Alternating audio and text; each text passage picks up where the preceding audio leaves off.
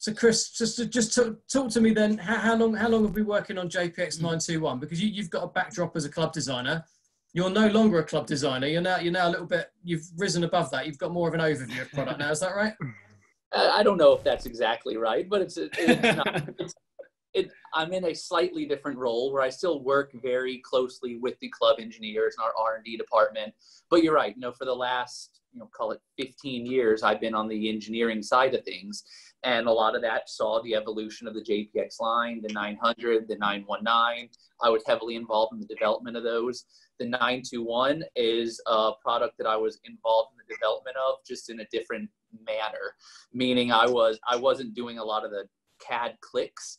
However, I was working very closely with the uh, with the R&D team in terms of what the product needs to be, what the direction is going to be of it, what improvements we're looking to make. So it's interesting to look at this line from my point of view because I'm looking at it from a slightly different view. You know, I while I still feel like there's a little bit of ownership over each of the products, it's a lot less than there was before. But it's cool because you know every time you get a slightly different players take or different engineers take on a product too you get something a little bit different. There are some things that i know from my side i would have done a little bit different but that doesn't mean they were right.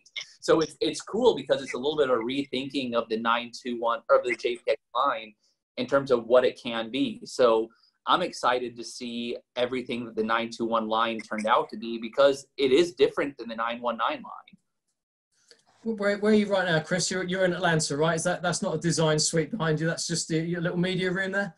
Yeah, so this is our little room. This was if anyone who saw us at the PGA show over the last couple of years. These are some of the images we had in our in our room there. Uh, I am in Atlanta, so this is where the U.S. Design Center is. Is we have one in Norcross, Georgia. We've got another in Osaka, Japan. And really, what we do is we work very closely together. You know, getting feedback from your team over in the UK, some guys in Australia, guys in Korea, guys in Canada, you name it, from all across the world. But a, a lot of the key engineers behind the 921 product sit in this in this office in Atlanta. Fred, I think you probably win most interest in backdrop. What, what, what have you been up to this afternoon? Yeah, I'm uh, I'm in Sweden, and uh, it's 70 degrees. It's absolutely gorgeous outside, and uh, uh COVID is. We have a we have kind of managed it. It was uh, it was bad in the beginning, but now we I think one person dies unfortunately each day, but it's a lot lower. So uh, yeah, I'm waiting this out back home in Sweden. I'm actually normally based in Atlanta, close to Chris, so I get to hang out with the boys over there quite a lot, and uh, it's a great team. You know, it's uh, fantastic. They know it's a lot about the clubs.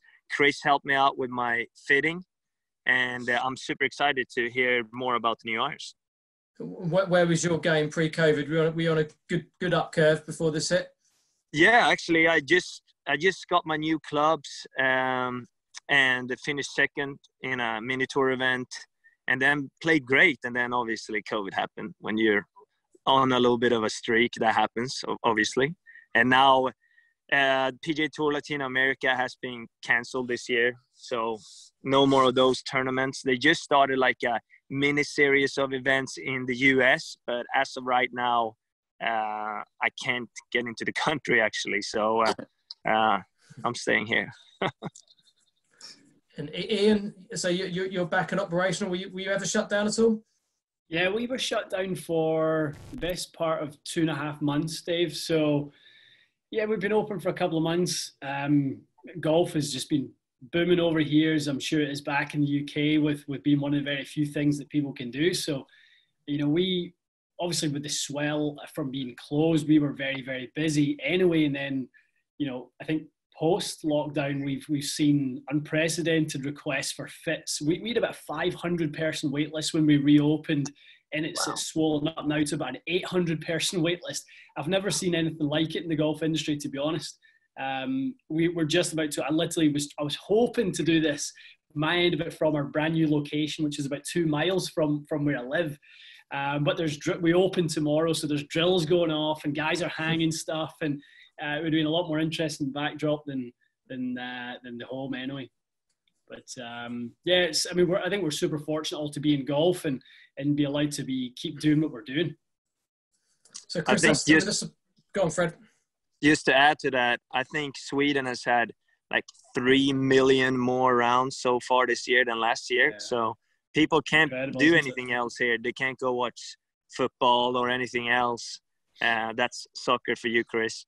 And uh, so, so people play golf. You know, I I teach a lot of lessons in Sweden now, and you know, I had I have a full book straight away. So, uh, in a lot of ways, COVID has been horrible, but for the golf industry, um, in some cases, at least a lot of new people have been introduced to the game, and hopefully will continue to play from now on. Yeah, and it's it's had a bit of an effect on this launch as well, isn't it, Chris? So I know uh, there might be a few people out there have been waiting on clubs a little bit longer than normal. So just just explain a little bit of the backdrop of that for me. Yeah, it's unbelievable. I mean, just to say that 2020 has been a strange year is just not even scratching the surface of it. But you know, in general, you look at the golf season as very, very popular in March, April, May, starts to tail off around June. But because of what COVID did and because of the, the lack of play early in the year, the pent up demand that, and what came out of it as people have started playing and places have opened up, courses have opened up, bidders have opened up, like Ian was saying. It's unbelievable how the industry has rebounded because it's one of those safe activities you can do. So we've been running, we're traditionally in the States, we run at uh, two days turnaround in terms of our custom builds. We're running closer to a month because our backlog is so big. The orders that came in in June, July, August, it's ridiculous, like nothing we've ever seen before. So I know there's a lot of frustrated people who are still waiting on their new clubs, but it's all because the quantities that are being ordered are unbelievable.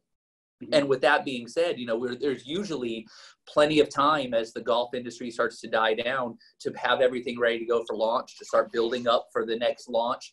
But because everything is so popular, the 921 launch is almost like feels like it's been pushed around a little bit because of the demand for the 919 and the MP20 and everything that's happened for there. So to say we've been scrambling a little bit for the 921 launch might be an understatement, but I think we're in a very good place and everything's ready to go. So we're just now having to react to how we create the content and how we share our message because like everything the message is different this year and how you share it and how you get it across is this year hence this call Fred, you're not, you're not a JPX guy, you're an MP guy, correct? Yes, I'm an MP 20 in uh, the nine iron to six iron and HMB and five to two. Okay. So generally pretty traditional in your taste and what you like to look at? Yeah, absolutely. And I tried the JPX irons and they were fantastic. In the end, I kind of liked a little bigger head in the longer irons because, you know, long irons is difficult to hit and you need that extra launch. You know, people in the tournaments I play, they love to tuck uh, pins and I don't hit necessarily too much kind of down and compress the golf ball. Uh, well, I do it kind of maybe too much for the JPX iron, and I needed that extra little launch uh, that I had in the HMB. So I'm interested to see if if it's similar to the uh, MP uh, 20 series, where you can have like if a bigger model in the longer irons and have uh, uh, more of a blade in the shorter irons. Plus, golf pros are no, no different to the rest of us, right? Sometimes you choose the newest one, the shiniest one, and you had to join us as we were launching 20s, so that could have something no, to do with it as well. No doubt, and definitely, uh, my girlfriend Hannah, she she signed with you guys at the same time, and she wanted them just because of the looks, but Chris managed to uh, tell her that she needed something else actually that was better for her but uh, yeah it plays a big role of course it does you gotta like what you look down on right but we've got some stuff on the way to you, Fred. So you, you've got some stuff to be testing for us after this call, right? So I think, Absolutely. Chris, what, what, what's Fred got on the way to test for us? I believe he's got uh, seven irons and everything, and maybe a whole set of the tours. Uh, I, it's been a little bit since we're trying to scramble to get everything to him, but we've been getting all the specs together, getting everything built up and then trying to navigate international shipping. So trying to get it over to you. So you'll have a lot of stuff to test coming up soon. So I look forward to seeing what you're going to do with that. Absolutely, Dan. Yeah, I'm looking forward to it. I got the TrackMan ready, the studio's ready. I got uh, I got balls and everything. I'm just waiting for him, man. It's a, such nice. a tease. and Ian, you, you've, you've, you've, you've had some testing a little bit already. Have you had you had clubs in hand yet? We we did. Actually, last week we had um, we had Canadian Olympian uh, Donovan Bailey, a gold medalist from the Atlanta Olympics uh, from the 100 mm-hmm. meters. He was in last week, and we we done a nice little fit. So it was 24 years to the day since he had won his gold medal in Atlanta. Oh wow! So yeah, so I mean, I remember that very, very well. Watching that back in the UK as a youngster. Um, obviously, Dave, we you know Linford Christie. I was, was just guy. thinking the same thing. Yeah, I was rooting for Linford Christie. Yeah, we, we were. So '92, he wins the Golden Barcelona. 90, uh, 96, he's he's kind of come to the end of his career. Ends up getting disqualified, if you remember from that final.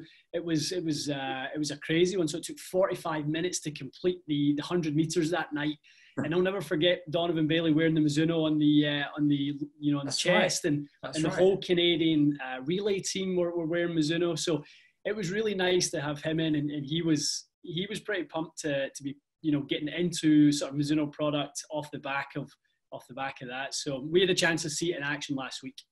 And is he a golfer? Has he yeah, he is game? a golfer. I mean, he's he's just he's just a raw athlete. You can imagine what it's like. Somebody who's just just a, a pure, pure driven athlete. I mean, he's he's not even, you know, probably accessing 50% of his power and he's swinging six iron at 94 miles an hour. And he's, is that good? You know, is, is that speed mm-hmm. pretty good? And, you know, he's hitting the thing 200 yards and we're trying to kind of explain to him all the attributes about what we need to try and give him and, and show him the new line. He was really impressed. Uh, just a visual there, Chris. So that's, that's you filming a couple of weeks ago. That's your home course, right? Yeah, so uh, this is over at uh, Rivermont Golf Club. This is off the, off the back of number 11. It's a nice little drivable par four. So if you get scared, this is where you bail out into this downhill bunker shot. And yeah, we did some nice product filming there. You know, in years past, we've myself and you, Dave, we've typically gone and met somewhere and done some filming on location. You've been there over my shoulder, and we've been doing a lot working together. But obviously, this year is a little bit different. So we actually I think we did a lot of the product filming through FaceTime. Yeah, we so, were FaceTiming it. So uh so But there are, but there are prettier films there are prettier films to come. That was the kind of point of showing this. Don't worry. If you're used to seeing Chris in a beautiful locations hitting golf balls, it's coming. It's just a little bit down the track. So we didn't want to hold all the information back. So this is kind of where the story started, right? Was the the smoking iron. Um, I just thought I just I just walk us through this because I always find it interesting to see people's reactions and feed off of that. So this was the first visual. So the smoking iron, hence forging just got a little bit hotter. The connotation is obviously hot metal makes forging, chromoly. And I've, it's been really interesting watching the reactions to that. And hence the questions I've got written down that I've kind of pulled from social media from the last few days. But actually, one of the things that caught people's attention, Chris, was um, Bo Hoag out there on the PGA Tour. So, mm-hmm. was he the first guy to have a set of tools in play? He was. He was actually the very first guy to test them, uh, uh, test the final product and get a build up. And right away, it actually caught us a little bit off guard because we knew he had we had delivered him his set, but we didn't know he was putting them in play until kind of actually after the tournament. We found out a couple weeks ago when he had shot a final round 63 to move into, I believe he finished T12 that week. Um, really good showing for Bo. Bo's a great young player, uh, fresh off the Korn Ferry Tour, having a tremendous rookie season.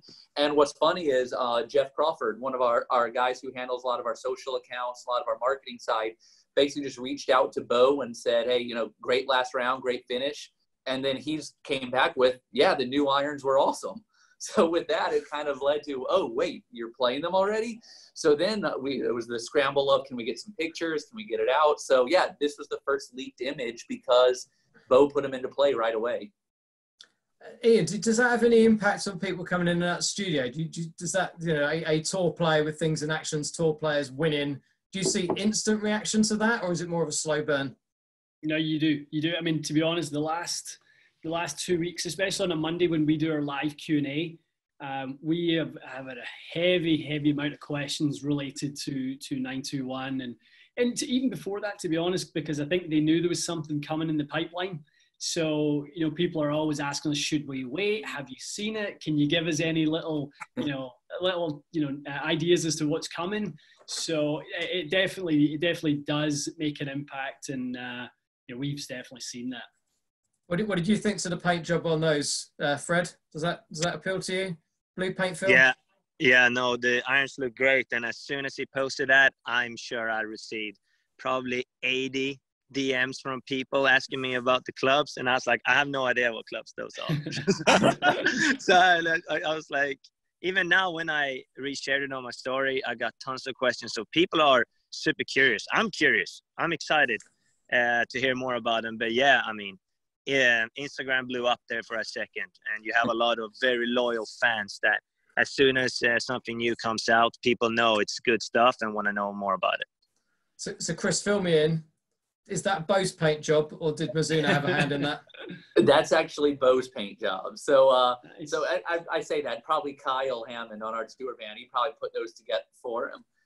and you'll you'll notice a lot of our clubs that we have out on tour. We'll do a lot of um, they'll they just want to customize it. They're like a lot of people. I'm sure a lot of your customers, Ian, are the same way.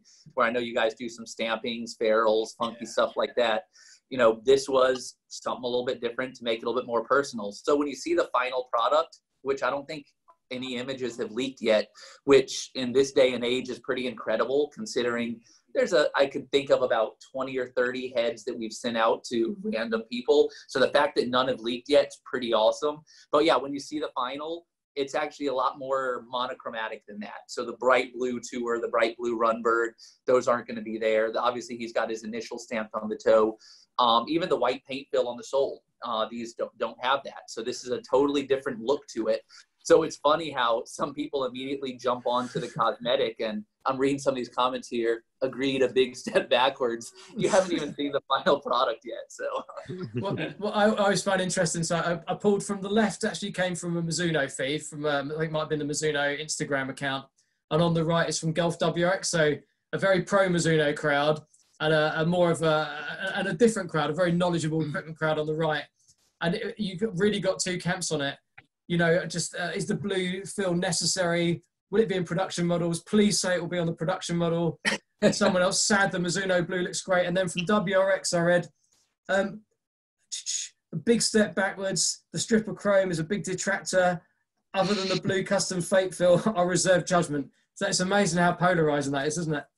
One thing that I think has cracked me up being on the product development side for years is the comments on the first image anybody sees of anything are 90% negative from Mizuno because our clubs are always so beautiful that nobody wants you to mess with them. So it's funny. It's like the first image, it's like, oh my gosh, you took my work of art and you destroyed it but I think we've got a pretty good track record of actually making some really nice looking irons. So it's funny how the first image to once you get down the line, actually people start seeing them in hand and you see some of the comparison pictures, that it's going to shift 180 degrees. It's unbelievable. Yeah. I, th- I, think we're, le- we're less we're less sensitive than we used to be, aren't we, Chris, about negative comments? yes. you know, that would have broken our hearts, wouldn't it, 15 years ago before we realised how all this stuff works. yeah, the funny thing is that that's literally the opposite of what people will, will think once they see it, isn't it? I mean, yeah, you know, having, having seen it in, in person and in hand, it, it, literally is the opposite to that. So you, are absolutely right. They'll do a 180 very, very fast. Right.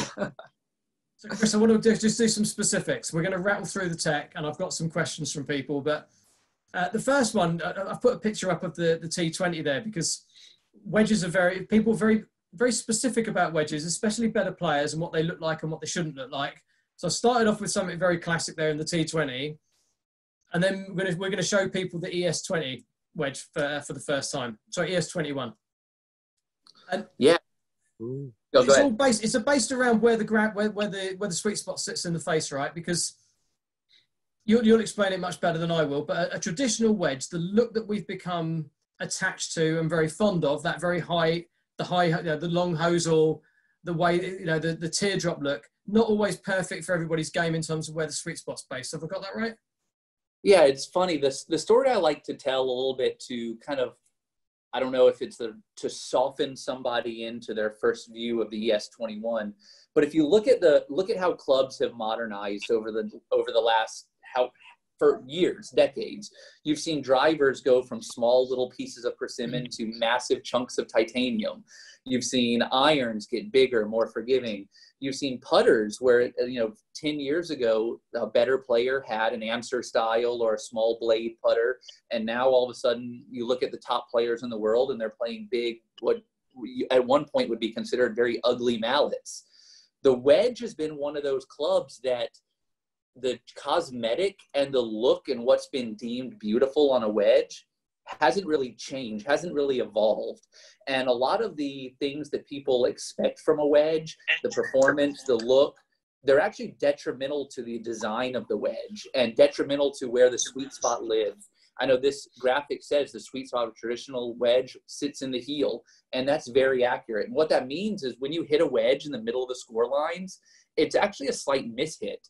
So ES21 was a totally rethinking of the wedge it's not going to be for everybody, but that's okay because the technology itself and how it performs is actually going to speak to a lot of people. And I think a lot of people who are a little bit nervous about it at first are going to change their minds. You work with a lot of players on short game, Fred, and you work with a lot of good players on short game. Not every single low handicap golfer is super precise with their wedges.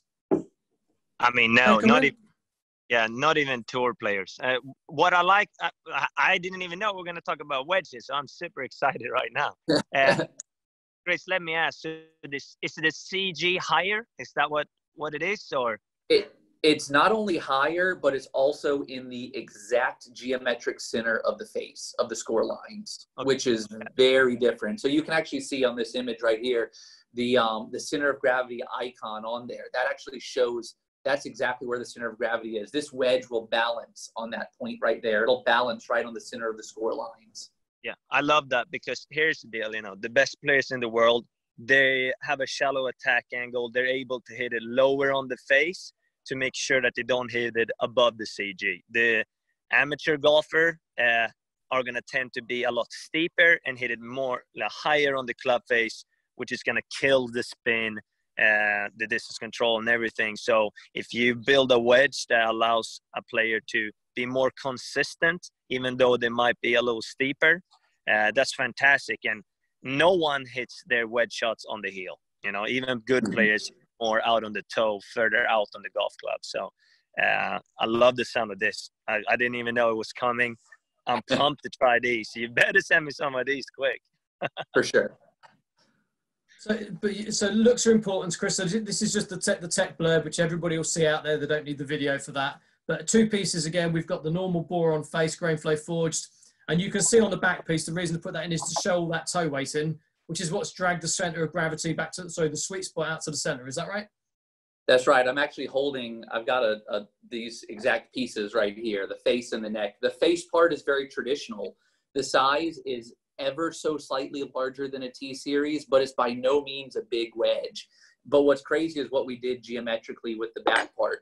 We took all of the mass out of the heel and shoved it all high and towards the toe. So the center of gravity moved literally 10 millimeters, which when you're talking about moving a center of gravity on a golf club, it's not uncommon to hear movements of half a millimeter, three quarters of a millimeter. We hmm. moved it 10 millimeters from where it was in the T20 completely from the heel side to the exact geometric center. So a huge movement. And I know there's some other companies trying to do some sorts of movement, but I've never seen anything move nearly like this.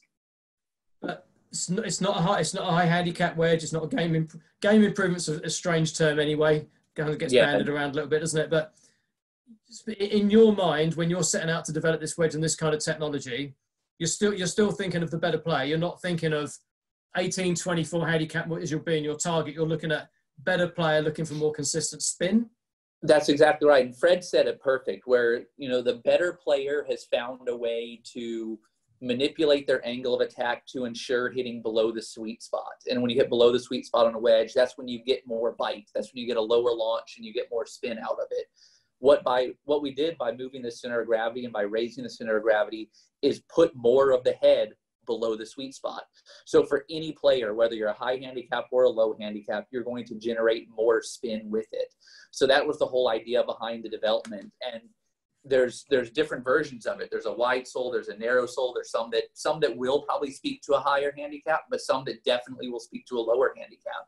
So it's just a different rethinking of how Mizuno develops a wedge, aside from just spitting out the S series or the R series that someone probably expected from us. There's there's the video just showing how it balances on the center, Fred. Yeah, no, I love that. And uh, so there are going to be different grind options too. You said sole options. Are there going to be different bounce options, or how does that look? That's right. Yeah. So there's uh, different sole width options and different grind options as well. So there's a wide sole and a standard sole. Um, and then both of those are available in a number of different lofts and bounces. So tons of different options for all different player types. And you must do a lot fit. Sorry, Karen, Fred. Is it just the black finish, or are there going to be different finishes too? It's just the black finish. This is Love something different. Yeah, we didn't do anything about the black here. No, man. Everyone wants a black club. Come on. Mm-hmm. Right? Is that something that works in the studio, Ian? You must do a lot of wedge fittings now. That's a, it's a kind of a, a growing part of your business, I would guess. Yeah, it really is. And, and I think we're very, maybe very fortunate in that when it comes down to wedge fits for us, I mean, we're, we're talking about the visuals, and, and obviously this might be a little bit different when people see it on the shelf. I don't really feel like that is is as applicable to us because we're governed by performance. So we're going to get in the studio. We're going to see how tight those launch and spin numbers are. We're going to see how how we can talk to the CG and the strike and use our GCQuad to kind of you know show how we're manipulating that strike lower than the CG to control launch and spin. And and this is purely talking to tech, and that's what we're we're governed by data in there, and people are coming to us for that. So um, this is exciting for for me because this is this is just uh, uh, pushing the boundaries, you know, completely on anything we've ever seen. Are people more open-minded now, do you think, Ian? Especially better yeah. players. Yeah, they are. They are. You, you, I mean, you, you know, we're talking on the timeline of the evolution of product design.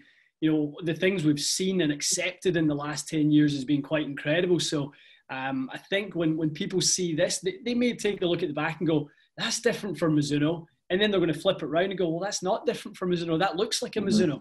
So, I mean, S18 for us was massive. I mean, that was an unbelievably popular wedge for us.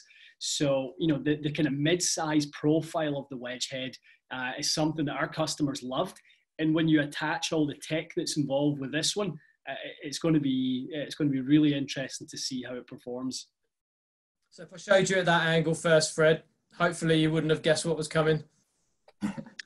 No, I mean the I'm I'm pumped, man. I think I've always been kind of looking. You need, you know, people and brands have been doing the high toe wedge, which looks horrendous, but it kind of they're trying to do the same thing.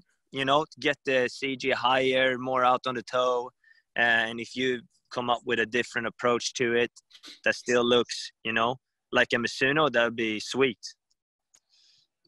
So we're getting lots of questions on specs, Chris. So that's that's pretty much it, isn't it, for everybody that's been asking? I've had fewer yeah. questions on ES21 because we haven't really put that out there yet. So um, I think we'll probably have to follow up on that one. But anything you want to pick out for people there?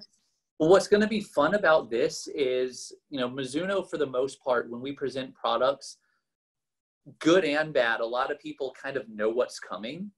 And as we've presented this product, and because the, you know, the general world hasn't seen this yet, nobody's expected this from us. So this is something different. We are going to get a lot of interest from this. In terms of spec wise, uh, nothing too crazy. You can see some wide sole and traditional sole versions from 54 degrees all the way up to 60 degrees available like you typically would see from Mizuno where you can bend it to hit any of your specs. And one thing I know Fred pointed out, the, the blacked out cosmetic, you can see it's a very blacked out design, comes with a blacked out shaft, blacked out grip really cool, different from us, but a great complement that does something different in our line than anything else. Uh, but what, why only start at 54 though, Chris? That's going to puzzle some people. Yeah, a lot of the the design behind this was more designed for those partial shots. You know, you, you think of the traditional pitching wedge, gap wedge, or almost more of full swing clubs for a lot of people. When you're talking extreme center of gravities, then that's going to have a have a different effect when you're making full strikes at it. You know, Um, I think it was Fred talked about your angle of attack, what that's going to do in terms of creating different spin. When you're creating a full swing strike with a gap wedge, traditionally that's a pretty descending blow. So it's not really what this club is designed for. This is more designed for those partial shots, which is why it lives in that 54 to 60, those higher lofted options. So you're open to giving it a go, Fred? No doubt. No, I'm excited. Uh, you know, uh, I always always want to try new stuff to make it easier to lower my launch and control the distance because that's what it's really all about. You know, even in all the lessons that I give here in Sweden, short game, people come all over Sweden to work with me now.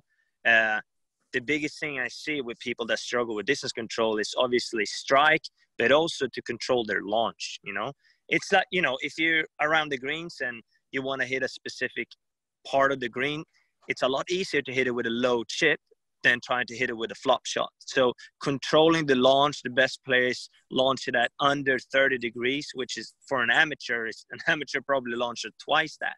So you got to be able to get that penetrating flight to be able to control your distance. So this is this could be huge if you can help amateurs to lower the launch and be more consistent.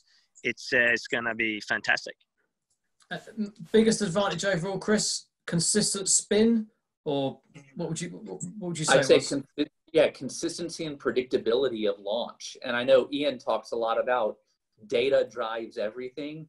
And if you can be more consistent from shot to shot with that data, you're going to get better performance, particularly on a wedge where you're trying to dial in specific shots. so that brings us on to the meat. So we've had no questions on that one yet because it hasn't been out there. Lots and lots and lots of questions on 921.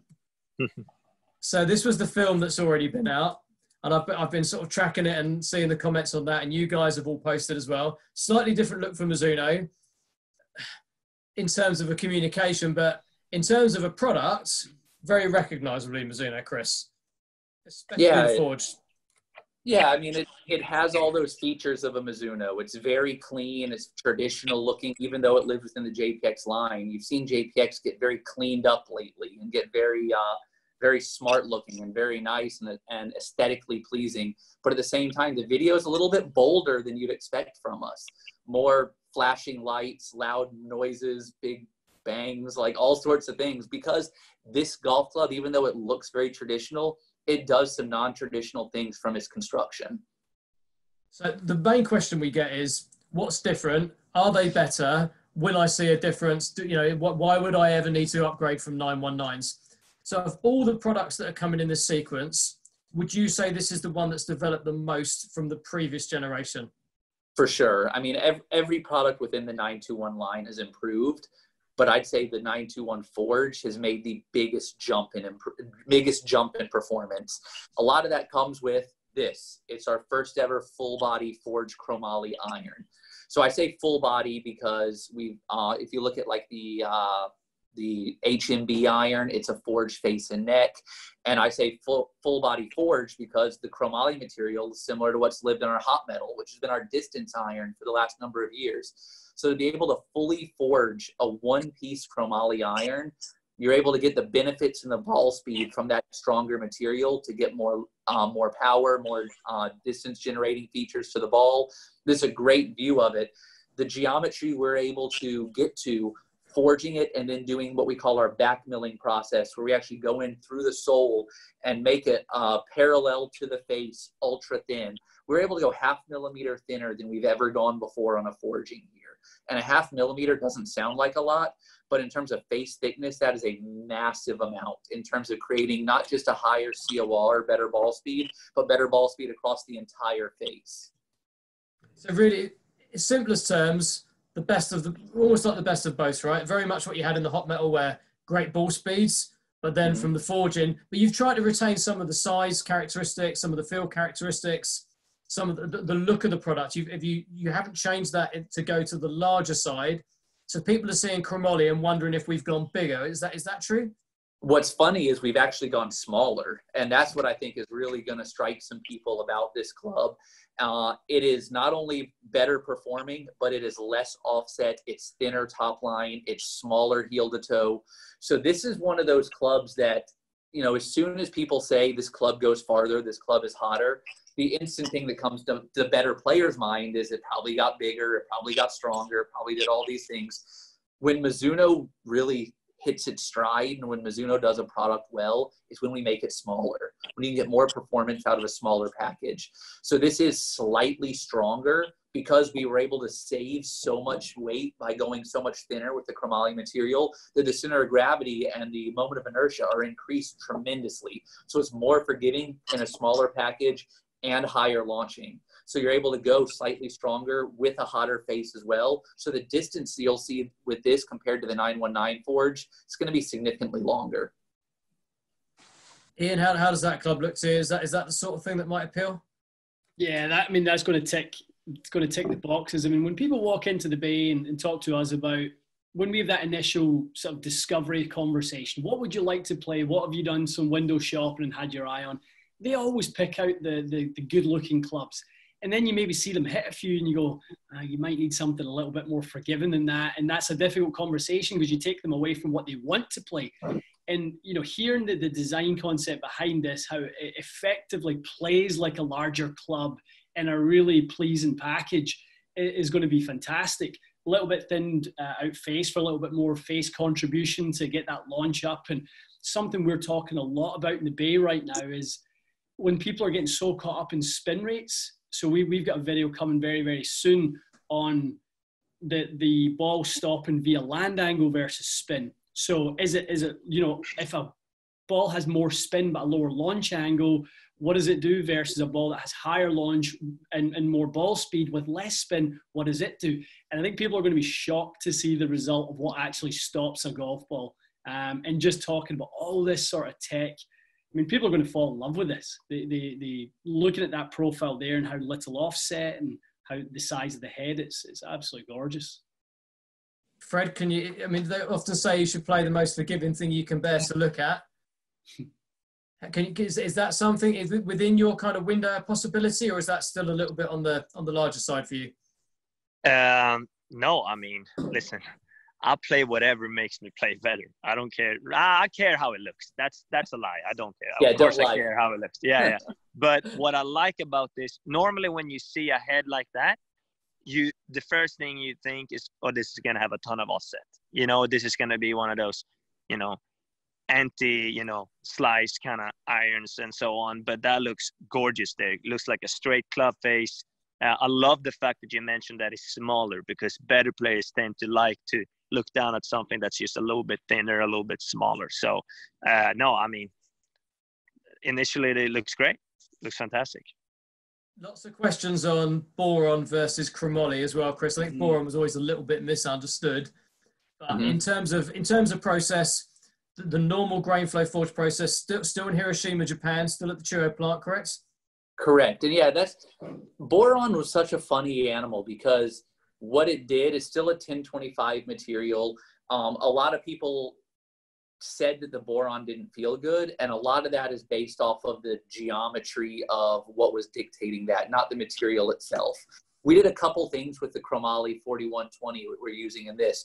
First, we had to develop a whole new forging you know process. You can't just take a new material and a new billet and put it in the same mold and expect to get the same golf club because different materials flow at different rates. They form in different ways. So this actually required a third set of molds which is totally different than anything we've done in the forging world.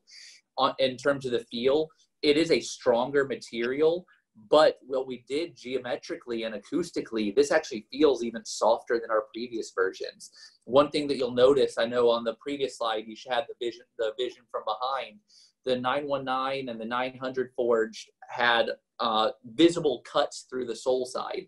This one, while it still has that thin face area, a lot of it's more internal and covered up, so you don't see that geometrically and acoustically, that's actually going to make the club more reinforced and it's going to make it feel even softer. So, it, yes, we did change materials to a 1025 uh, boron material, but we also, or sorry, from a 1025 boron material to a uh, uh, 4120 chromoly, but we made it feel even better, even though the club got hotter. Some great looking pictures there, Chris. So, you see, I, I, I know, knowing yourself, you'll be most proud of how the club looks Mm-hmm. in terms of once you've packed all that technology in. The, the fear is that it ends up looking like something that you personally wouldn't want to play. And I know this is probably in your window of things that you would now look at and play.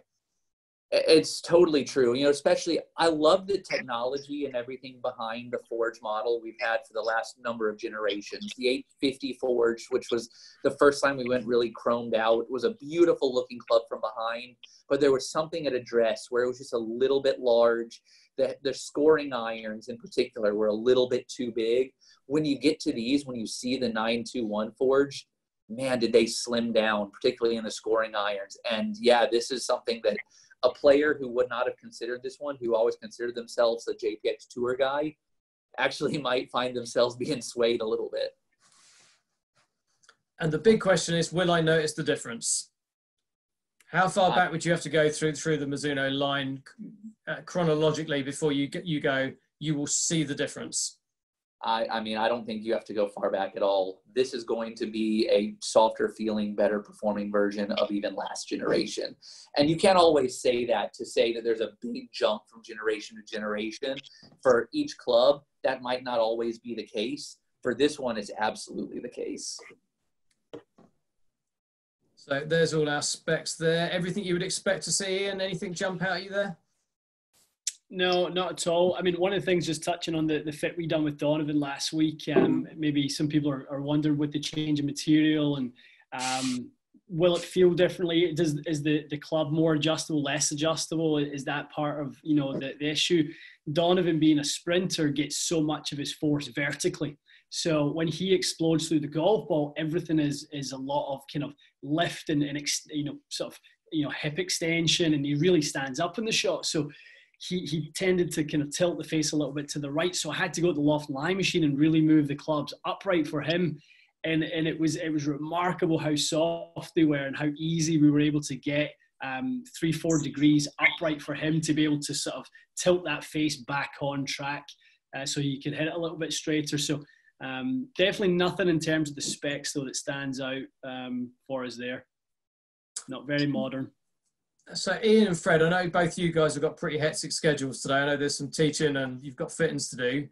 Can you can you hang with us for another 10, 15 minutes, or have either of you got to jump to your next next phase? I'm good. I'm good too. All good. Brilliant. Okay, wonderful. Because I know that I know the next one is has a little bit of conversation around it. Is it eh, eh, Fred? Any anything you want to add on to that for, the forge conversation? No, I mean I'm just happy that you explained what what's it chronology what it was? So it's a different material. I don't know. Chronology. yeah. So I, I, I, was sitting quiet there until you told me so i didn't have to sound stupid. No but uh, uh, so, so it's a completely different material in the iron. Right? That's as long as i'm getting it. It's totally different than what we've used in that iron in the past. So it's yeah. it's a it's a grade of material similar to what we've been using in our hot metal iron fantastic. All right, I'm, I'm so, on. Yeah, so two, two generations as the hot metal, and this is the first time it's come into the forged. Correct. But you're guaranteeing people aren't going to feel a harder material. It's not going to be clickier. You're going to get that kind of Mizuno feel out of it, Chris.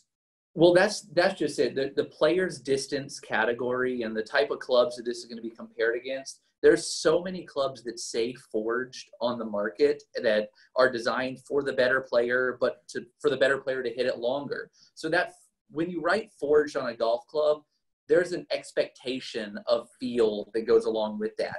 And it's so amazing how forge has been used so loosely over the last number of years that a lot of times forgings now don't feel great. Our mm-hmm. forgings and what we've done with them, we're not we're not falling for that. So if you look at ours and how they feel versus a lot of other things in that market, the feel is unreal. It's still very, very Mizuno.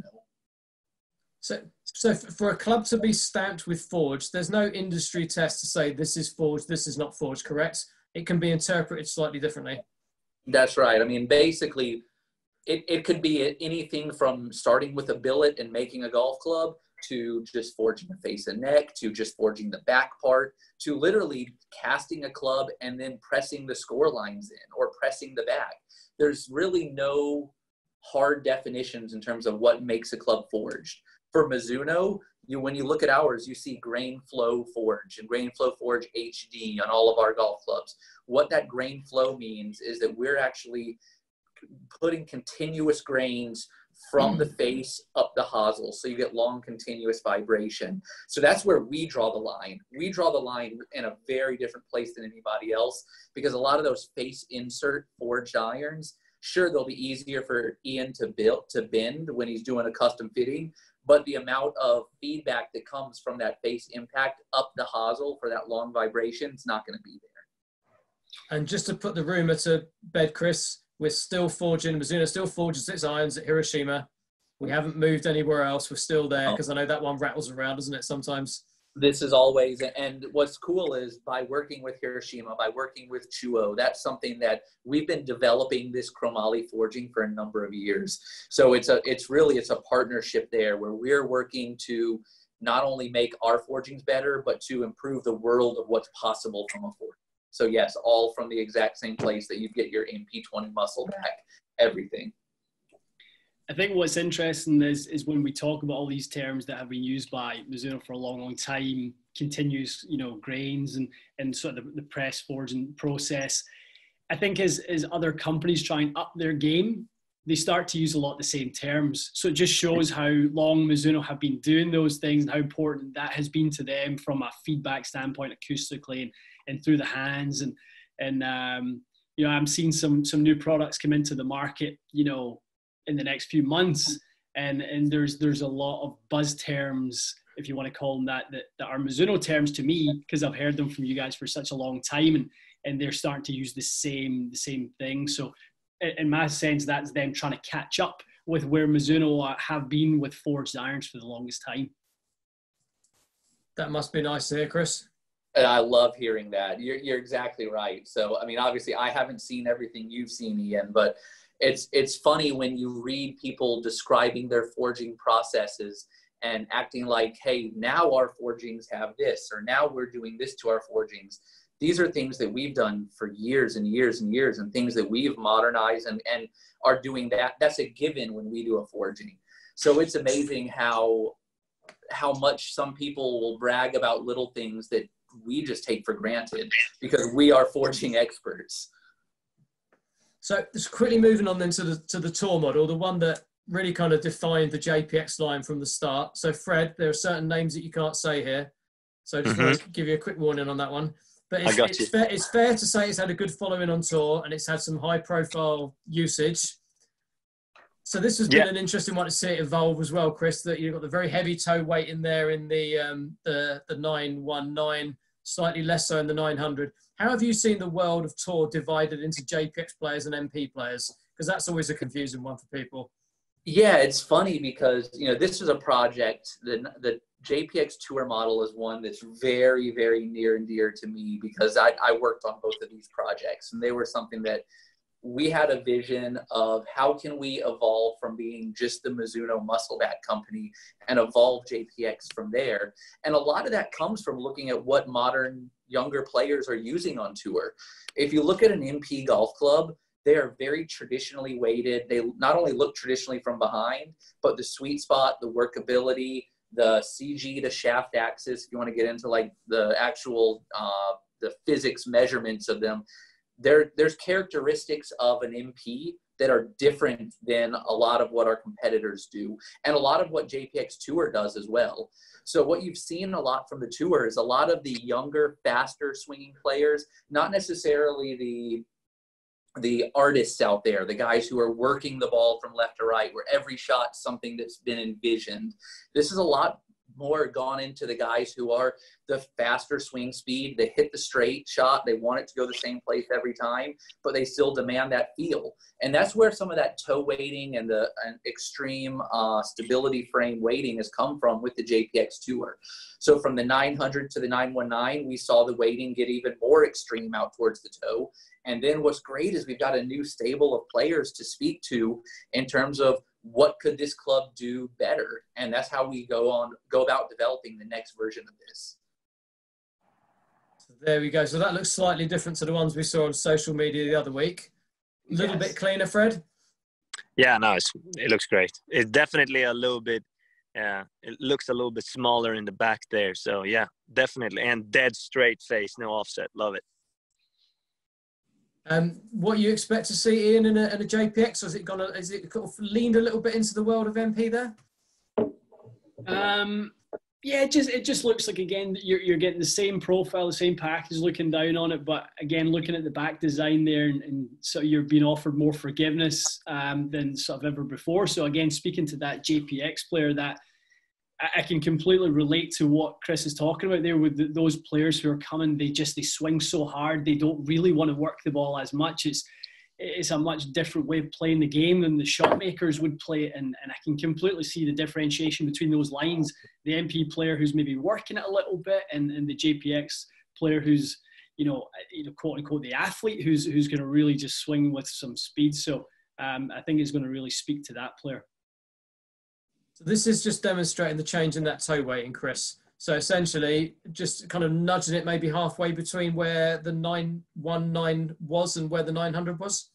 That's right. So one of the big differentiators, I ta- and you know, Ian and I are both talking about workability versus stability. Uh, typically, you've seen the JPX side be much more stable. The JPX Tour with that toe weight, it's a club where the club is a little bit more in control versus the player in more control when you have a shorter CG to shaft axis. So the toe weighting of the JPX 919 Tour was pretty extreme. There was a lot of mass out towards the toe, which really let the club dictate where the ball was going more so. One of the things of feedback we got was if I could get the same level of forgiveness – but add a little bit more workability, then that might be a good uh, upgrade to the JPX Tour. And that's where this is. So we actually dialed the toe weight back ever so slightly. So it's still uh, still more toe weighted than an MP. So it's still more stable than an MP. But at the same time, there's a little bit more workability built into it than the previous version. And one thing I always like to point out about it, I'm not sure what the next slide you have is. I'm hoping it's uh, not that one, but that's okay. No, there's um, it, this one right here the when I look at those two clubs from behind, the 919 and the 921 from behind, the first thing in I, my mind that I recognized was it looks like the cavity grew on the tour. Mm-hmm. While it grew in terms of the surface area from the back, the cavity actually shrank in terms of the depth of it. So the club actually got thicker behind impact. So while it looks like a larger cavity, it's actually a smaller, shallower cavity, which ultimately is going to lead to an even softer feel. So, you know, with the tour player, feel, forgiveness, workability, looks, sleekness, those are all the those are all the buzz terms that you want to hear. This club feels phenomenal and it feels even better than the previous version. And that's a very complicated slide to make that point. Correct. Yes, this is showing actual hit test data where we're we're uh, analyzing uh, the different modes of vibration and really dialing in the different modes. Of, and this is just the science behind feel. Isn't just a matter of where does it land when you make a club. We're engineering the feel into the golf club. And that's what it looks the final product. So again, lot lot, lot more monochromatic, just just a, a more grown up looking club, Chris. Absolutely. So the 919 tour, I think, is a beautiful club. It looked very mean, like in terms of hard, how hard and aggressive the lines were. This is a slightly softer version of that, which actually speaks a little bit to the feel and everything about it. It still looks JPX, but it's grown up a little bit. It's a very, you know, I love the monochromatic, the the satin, white satin finish looks beautiful, and there's this little accent across the center. It just gives it a different life and different look to it. I just want to take you back a few because actually this is important as well, isn't it? So this is the diff- people talk about the difference. So there's a difference. So I think the, the picture on the left says it best, which is the sole width. Yeah, so the sole width got slightly narrower on the scoring irons and slightly wider on the long irons. And what that speaks to is more versatility on the scoring irons and a little bit easier to launch in the longer irons. That being said, I know one of the common questions is what we did to loft, and we didn't do anything to loft. So don't worry, we didn't go strong, we didn't do anything funky. But there's also then you get a lot of questions you've kind of engineered almost a mixed set or a very heavy flow within the set one of the questions we get a lot of is, are these designed to be mixed and matched the same way the MPs are? Or do you look at JPX as each model being its own kind of animal? Yes and no. Obviously, we're trying to design the best set we can in terms of we want the three iron or the four iron to speak to the five, six, seven. But at the same time, we do recognize that not not a lot of players play these in the longer mm-hmm. irons. So we do make sure that they can be combined with the with the forged in the in the long iron side. And there's our specs missing a three iron, which will be a surprise to a lot of people. But on tour, Chris, how many three irons have we made in the last year? Yeah, this is the funny stat is I know we're going to get screamed at. The, the, the two places we get screamed at are one, a left-handed person gets really mad at us a lot of times. And the, the second is when we don't offer a one iron or a two iron or in something. The JPX Tour has been really funny because if you look here, there's not even a three iron in it. The previous 900 and 919 Tour, we offered three through pitching wedge. Most popular clubs we've had on tour in the last four years and in that in those four years, we've built a total of zero three irons for tour players. So it's so funny how many players will say, "Well, I need that three iron," but the best players in the world know that there are better options. And I'm sure from the fitting side, Ian, I'm sure you see that all the time. Yeah, yeah, absolutely. We we we have the odd set that will come in with the three iron, but they they sit on the the shelf on in the inventory room and, and kind of it's a, just a problem at the end of the year trying to kind of you know get rid of them or sell them on or do whatever we do with them no one's buying three irons that are part of the set anymore really right. um, you're buying a, a specialty club a utility club for that three iron are we partly guilty for that chris by the lofts changing over the years? Has that kind of changed the game a little bit? Yeah the, indus- the industry has more or less killed a three iron by strengthening lofts everywhere. But at the same time, if you look at these, these are very traditionally lofted compared to the, the world. So even then, we're at a 21 degree, which would be, if we were to make a three iron, it would be 20 degrees. That's got a four or a five on it it's coming from some of the other companies. But yeah, 21 degrees at a one piece grain flow forge, shallow cavity design. The center of gravity depth and height aren't going to justify that because the number of players that could launch that golf club, and as Ian was talking about, get proper landing characteristics, it's virtually nobody. Fred, does that does that resonate?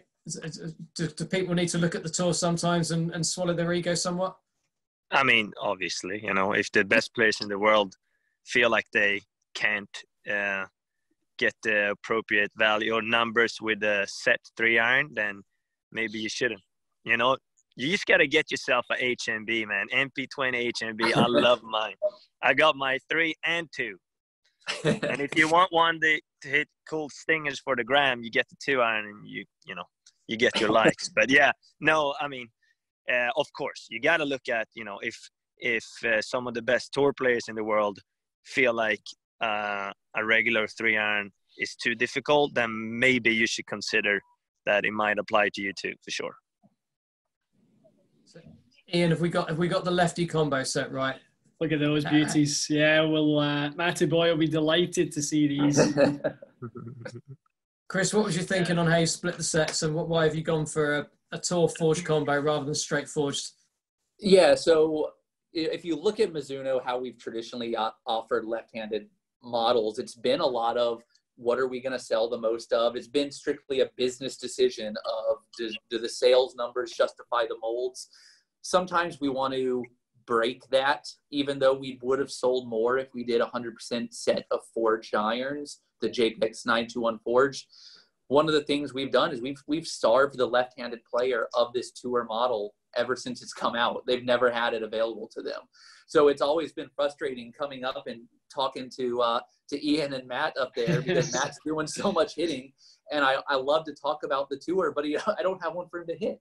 So, um, so one of the things we really tried to do was analyze what combo sets are being made and where can we put together the most ideal set for the for the highest majority of players and with the JPX tour we wanted to offer that to the left-handed player and I mean through tens of thousands of custom orders, we see this combo set as a really ideal place to make that break between the four and the five, and then the six down and the tour. And it, and it would make a pretty good right-hand combo set as well, correct? That's the funny thing is, well, specs are so specs are so goofy because we talked about a few minutes ago with lofts being all over the place. It's become a six or seven iron launch launch monitor battle. Like who can hit their six or seven iron the longest? And based off of that you see some weird things happening in lofts where you see big spreads on the short iron side and then compression on the long iron side by building this combo set as a left-handed obviously they have their own molds because they're left-handed we can put the lofts anywhere we want because we're not too concerned about the guy playing the jpx tour combining that or comparing that against a game improvement high cor or seven iron. So we wanted to make this the best ideal set we could make.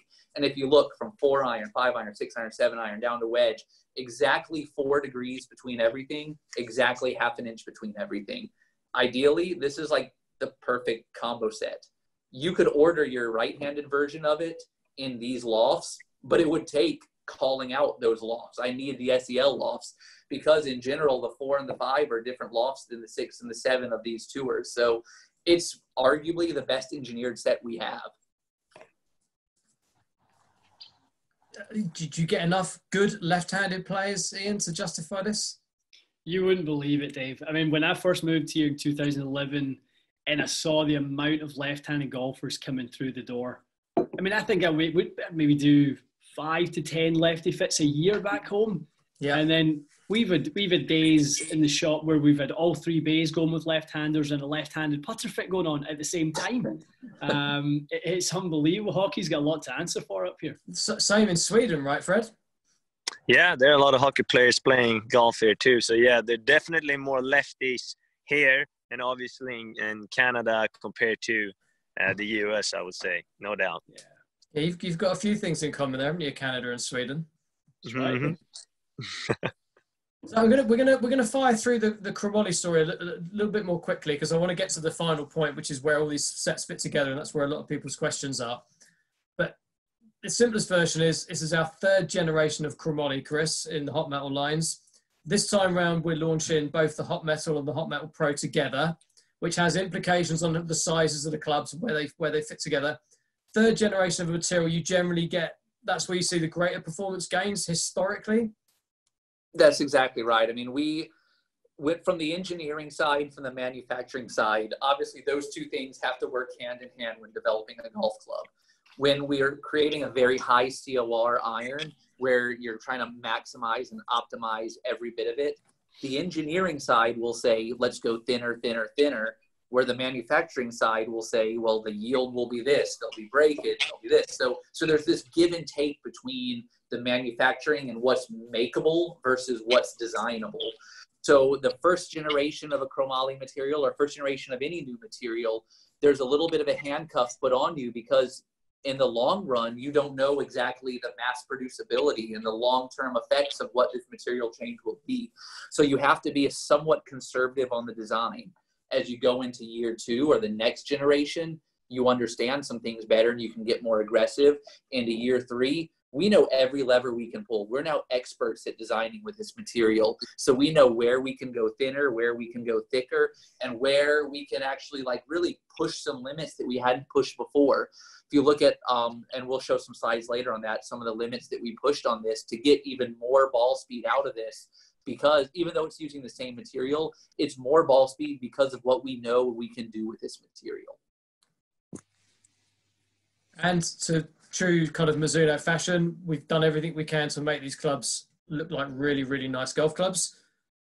You happy yeah. with how they look, Chris? How they've turned out? Uh, they turned out so nice. I mean, it's it's so funny when you look at our JPX line, how much it has evolved and how much it's. I used the phrase earlier, Dave, grown up. They've become very sophisticated. This is the hot metal. I believe the next slide is probably the hot metal pro, and you can see two very just beautiful looking clubs from behind. If you look over the left side of that hot metal pro, this is a distance iron with very little offset that mm-hmm. speaks to a lot of good players. But you know the technologies between these two clubs they're the exact same set of technologies. It's just two different packages. So one's a little bit larger one's a little bit smaller. One's more offset one's less. One's thicker th- thicker sold thicker top line one's thinner thinner thinner. So what we've been able to do with these is fantastic. Did you, did you like the look great... of those? Sorry just to put you in your tracks there fred. Yeah look, no look, looks wise yeah looks wise it's great I like that. Uh, you know, if you have the tour combo with the pro combo, I'm guessing, Chris, that's something I would play, right? If I want a little bit more help in the long irons. Yeah, what's been funny is when we developed the first 919 tour, yeah. it's it's designed to be a distance golf club. What's been amazing is the amount of tour acceptance that the pro model has gotten. So the 919 Pro, uh, in any given week, there's probably a half dozen or more in bags of tour players because they still look the part and because the offset is so thin these are great long irons to go on top of some some forge and some better player sets. Love it. And this is this just shows what's behind the behind the chrome behind the skin chris. This is the the new face design that's right. So, you know, I mm. talk about being able to push limits even farther. So you can see actually 0.2 millimeters thinner across the center.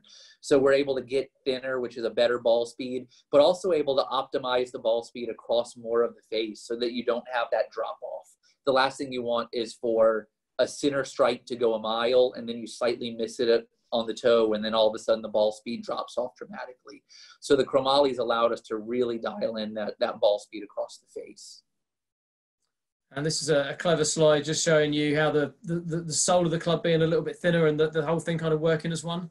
This is exactly what I was talking about in terms of understanding where we can get more aggressive with the material. Not only did we go thinner on the face, but if you look at those two little pictures down on the left side, you can actually see how the leading edge is uh, it's a large area of deflection a large area of stress and strain when you when you compact a golf ball. So what that means if you're a, co- a company who's welding a face on or if you have a multiple piece golf club because that's a high strain area you need to have reinforcement in that area but ultimately, if you want the largest trampoline possible, which you always want to get better, more consistent ball speeds, you want to engage more of the head and the impact. So by doing this in a one-piece chromoly golf club, not welding that face, we can actually utilize the engagement of the sole as well. So it makes the trampoline play larger. And that's something that we did a little bit different is we actually have a variable sole thickness as it transitions from the face to the sole that allowed us to engage that part of the golf club in the impact to get more ball speed. And these are the results. We've, we've had to block the brands out, but essentially, this is from your robotic testing. So the, the, the image at the top is the hot metal. Um, so you basically measure center ball speed, and then you measure all around the, the perimeter as well, right? So you're trying to get a almost like a table where you've got a golf club that not just is quick, but is quick from all parts of the club, and you're comparing it against everything else, correct? That's right. This is what we call our ball speed retention maps, where we'll do a center strike and then we'll do toe heel up and down. Because how good is a center strike that goes fast if every other strike goes slow? So our whole thing is we we want to make sure you have the most consistent ball speed across the face. And you can see while we were first place in the down direction, we were second place in everything else. So uh, I'm not sitting here saying we're the fastest everywhere on the face, which a lot of our competitors feel like they scream that all the time. Uh, we lost the center ball speed by 0.1 miles per hour. But then if you look at the overall consistency, we were the most consistent of anybody. Some companies are really good low, some companies are really good high, some really good on the toe, some really good on the heel. We want to maximize all of those. Have you seen that over the years, Ian, where you've had a golf club that's been a, a great performer at one particular thing that's maybe been let down in one particular area or without yeah, naming yeah, brands or models? When when we went to to start working with GCQuad, that was one of the things that was really easy to see. So when you can map the strikes all over the face and you see certain um, patterns with players, you can then go, okay, well, he, he's, you know, maybe he's a little bit shallower the long irons and, and kind of the strike moves down the face a little bit, adding a little bit dynamic loft and a little shallow so the strike moves down. So there are heads that deal with that better than others. And, and I think as te- launch monitor technology has improved, it's allowed us to understand the heads a little bit better and which ones we can select that are going to do a better job in the moment. So this is this is pretty cool to see that it's it's performing so well all across the face. Obviously, proof, proof will be in the uh, the final outcomes when it we won't you know we don't get to decide that the public do and and you and people like yourselves will sit, work with it on a daily basis. And again, Chris, I know you'll be particularly proud of how it looks rather than just how it performs. Yeah, again, very, very sleek, very modern look. Um, there's a load of forgiveness built into golf clubs that still look beautiful in the bag. And that that's where Mizuno to me that's one of my most proud things is if you want to design a golf club to only care about engineering specs and to only care about is the COR this or is the MOI this, whatever. We could do that, but to be able to do it in a beautiful package, that takes some true talent and some true art bringing that in.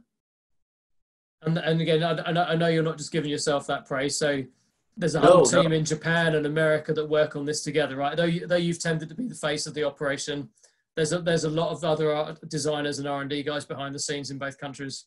I'm speaking for uh, the most talented team of engineers and designers ever. I mean, we have so many engineers between we got David, we got John. I'm just thinking right back behind here. We got Kazu, we got Cooper, we got Nobu. We got so many different guys who are doing amazing things for these irons to make them look absolutely beautiful and perform incredibly. And that's like we've got we've got members from uh, that started in Japan that have come to work in America. I know David spends a lot of time back and forth, doesn't he, to Japan, as, as yourself have done as well. It, it sounds a little bit cliche, but it's genuinely a collaboration between both countries, right? A hundred percent, and and particularly in a JPX line because JPX is a brand that started in Japan, and then we've kind of adopted it to the Western world, and now it truly is a global product, and we're excited about that because Japan has seen some of the success we've had, and it's actually evolved to be a, a an international product a lot more so than it's ever been before. Uh, specs again, so both the Pro and the normal hot metal identical in terms of uh, loft and lie and length, all those all those things, Chris. That's right. So this one is um, us on the stronger side of the world. However, we're still not nearly as strong as a lot of our competitors. We play the we play the loft game because we're because we have to, not because we want to. But this golf club launches tremendously high, a much lower sweet spot than the previous version, and it just it performs. So it's a distance golf club that'll go up against anything. One thing that's cool, I want to point out on some of these stock stock specs and the shafts and grips, some new additions to our lineup. The NS NS Pro 950 Neo is a new addition to our line. That's going to come in the Hot Metal. And in the Hot Metal Pro, actually, a, a Project X LZ Blackout. So a really cool blacked out version for that entire golf club. So the, the, pro, the Pro is very blacked out and the Standard is very chromed out. Really great looking clubs. And I know everyone's now, we're at a point we've used a lot of everyone's time up.